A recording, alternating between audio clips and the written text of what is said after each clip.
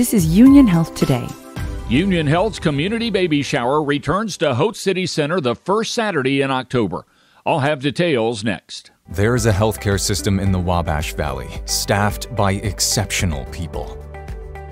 There's a healthcare system in the Wabash Valley that is achieving remarkable results. There's a healthcare system in the Wabash Valley constantly investing in cutting edge technology. There's a healthcare system in the Wabash Valley providing compassionate care of the highest quality. Healthier together. Union Health. Expectant moms, new moms, partners, grandmas, granddads, and those who care for infants. You're all invited to take part in Union Health's annual community baby shower that's set for Saturday, October 5th at Haute City Center. RN Crystal Keith is the nurse care manager of Union Health's Mother Baby Unit.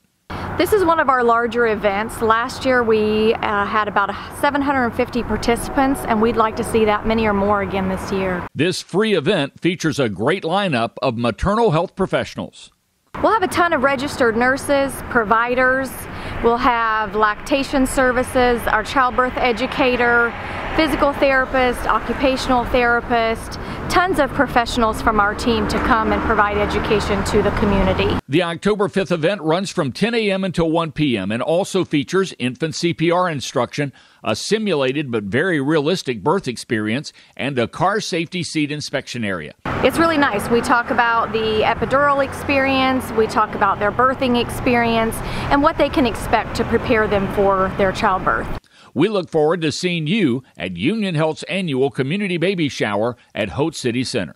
I'm Mike King. That's Union Health today.